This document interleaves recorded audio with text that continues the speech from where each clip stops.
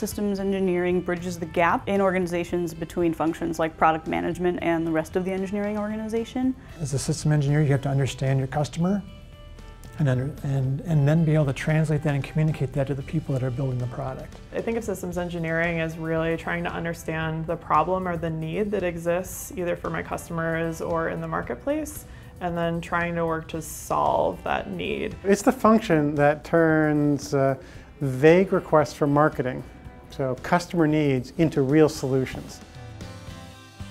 The systems engineering mentality or systems thinking is something that I believe is vitally important to achieving successful results. You have to understand the problem, get down to that core problem set, and that, that, that doesn't come easy. People want everything and they want it for no cost and they want it yesterday.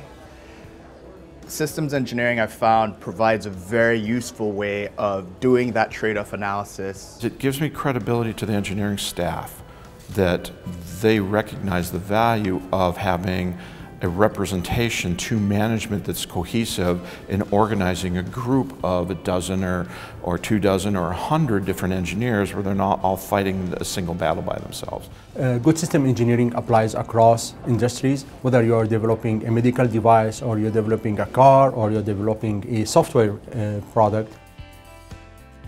It really helps engineers like me to hone our craft and and really understand what it is that we're trying to do and helping the companies that we work for. I think it really serves as a best practices organization where we can pull skills from and, and ideas and, and network with people who've done these kinds of things before.